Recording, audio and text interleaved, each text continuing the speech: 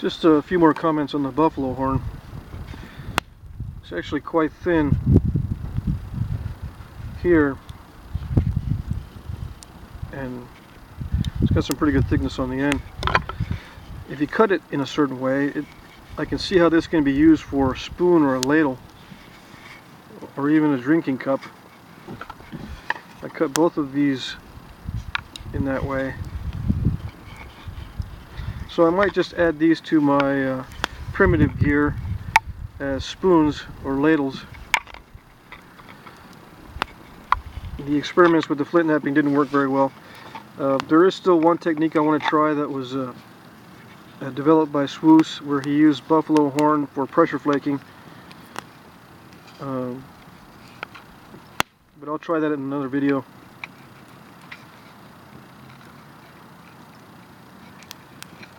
Uh, what he did was he ground down the tip to a chisel type of tip, kind of flattened and then chiseled, and then pressure flaked with that.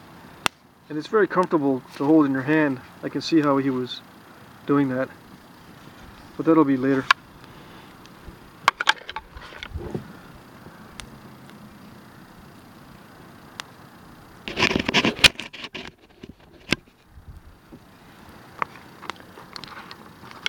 Oh yeah, I have a, uh, a pad that I was using for my flint knapping.